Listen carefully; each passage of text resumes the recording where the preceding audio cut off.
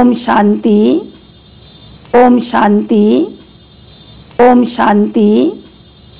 जनवरी मास, वरदानी मास अव्यक्ति मास, समर्थी मास कहेंगे, जो कि अव्यक्त बाबा का दिवस मनाने का मास मास आते ही साकार की यादें आ जाती हैं।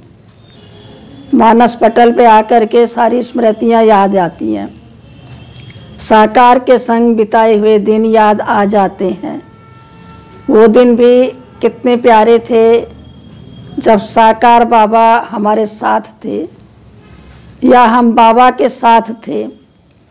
तो मुझे अच्छे से याद आता है, एक बार, एक बाबा लाफुल और लॉफुल भी थे। एक बार क्या हुआ कि महेश भाई, जो अभी पांडव भवन में है, कानपुर का था, छोटा था, सो नौकरी करता था। उसने अपने पैसे को बचा बचा करके बाबा के पास लेके गया। और वहाँ पर पाँच रुपये की गड्डी, नई रिज़र्व बैंक की पाँच सौ रुपया। और बाबा की कुटिया में उसने दिया। बाबा ने बहुत प्यार से अपने हाथ में लेके कहा, गंगे बेटी, ये बहुत प्यार से एक मना नीचे ऊपर देखा, ये पाँच सौ रुपया गड्डी लाया है।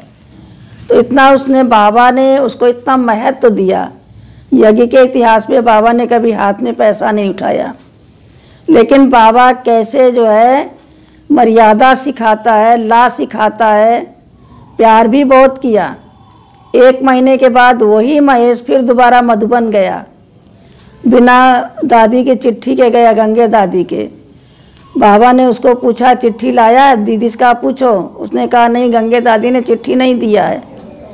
क्यों नहीं दिया? क्योंकि एक मास पहले मैं उनके साथ आया था तो अभी मना कर दिया। बाबा ने कहा, इसको वापस करो तुरंत। बाबा इससे नहीं मिलेगा, क्योंकि ये कायदे मुजब नहीं आया है, गंगे की चिट्ठी लेके नहीं आया है। तो होता क्या था कि बाबा अभी एक महीना पहले तो इतना उसको महत्व दिया, प्यार किया, लव किया।